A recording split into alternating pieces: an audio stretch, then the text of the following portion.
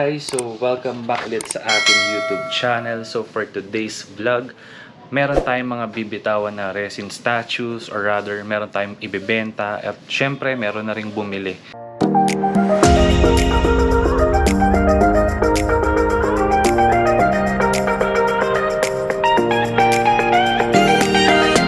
So yun nga no, sad to say, gusto ko sana siya i-keep kasi sobrang ganda nitong mga resin statue na to. However, kailangan natin siyang ibenta for rolling capital. At syempre, medyo risk na din since lumalaki na yung baby ko. And gusto ko ma-avoid yung accident na baka matulak niya yung stante. Then, bumagsak yung mga statue at mabasag. So, yun yung reason bakit ko rin siya ibebenta. Kasi tumataas na rin yung risk na baka may tulak ng baby ko yung stante.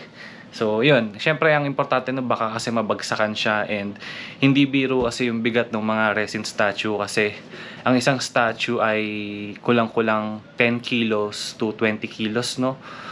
Para dun sa first to third Hokage. However, for fourth Hokage, um, nasa 30 kilos siya. So, ayun. Um, kaya, napag-decide ko na ibenta siya and luckily, um, merong bibili and ayun, later, papakita ko sa inyo na pipick upin na yung mga resin statue and ayun so medyo malungkot ako pero okay lang naman and hopefully uh, makabili tayo ulit ng ganun ng ganung statue kasi rare talaga siya. Minsan yung mga release lang is 300 out of 300 lang 500 out of 500 and marami na yung 800 out of 800 worldwide. So ayun guys samahan niyo ako. Let's do this So yun guys, no, naibaba ko na lahat ng mga resin statues natin na bibenta. So nandito tayo ngayon sa first floor, medyo madilim lang. And isi-share ko lang sa inyo kung ano nga ba yung mga bibitawan natin na mga resin statues. So check nyo na lang dito sa next part. So first, um, yung resin statue, set kasi natin siyang binenta, no? So apat na Hokage yun. So ito yung first Hokage na Cloud Studio na si Senju Hashirama. So napakaganda niyan. Almost 10 kilos din ata yan or 15. Then ito naman yung um, third Hokage na si Hirozen Sarutobi. So napakaganda din yan. Almost 10 to 15 kilos din yung estimated weight niya. No? So sobrang solid ng detalye nito. Kaya parang nangihinayang ako. Then next is si Senju Tobirama na second Hokage. Sobrang ganda lang kasi talaga ng detalye ng Cloud Studio. And yung fourth Hokage na, na sobrang bigat. No, almost 30 kilos. Nami Kazemi na to. So, yan. Kung mapapansin nyo, sobrang ganda ng detalye niya. So, ayun. And congratulations sa mga kabili and or dun sa bibili, congratulations. Kasi sobrang solid na collection nito. Um, ilan laki talaga. Ito, muntik na, may nakita ko nito. Solid, solid yan. Pag nakuha niyo sa yung... picture, hindi mo akalain eh. Oh. Ganda to sa ano. Ang ganda ng details.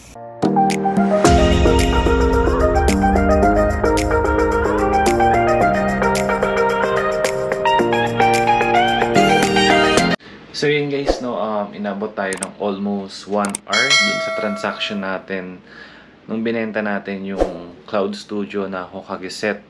So, syempre, um, as a buyer and as a buyer, um, pinacheck ko sa kanila lahat ng statues para at least wala talagang issue bago nila isampa sa kotse nila, no. So, so far naman, um, wala silang nakitang issue since sobrang alaga ko din talaga tsaka iniingatan ko din talaga yung mga statues na yun. And umabot din siya sa akin ng almost a year. So, ayun.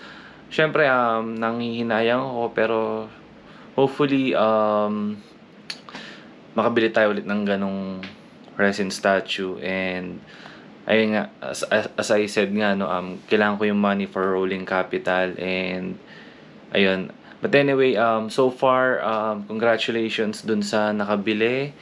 And, ingatan niyo ingatan mo na lang yun bro and thank you thank you thank you sa pagtiwala so ayun um doon nagtatapos ang ating vlog so moving forward um mag-unbox pa rin tayo guys sa mga toys syempre um, nagdagdag lang tayo ng content, no? So, from Brand Toys Collection, kinonvert natin to BF Adventures. So, syempre, aside sa pag-unbox, pagko-collect ng toys, nadagdagan natin guys yung content natin ng food trip and road trip. So, abangan nyo yan guys. Thank you and God bless. So, if ever nagustuhan nyo tong vlog natin, don't forget to like, share, and subscribe to my YouTube channel. Thank you and God bless guys.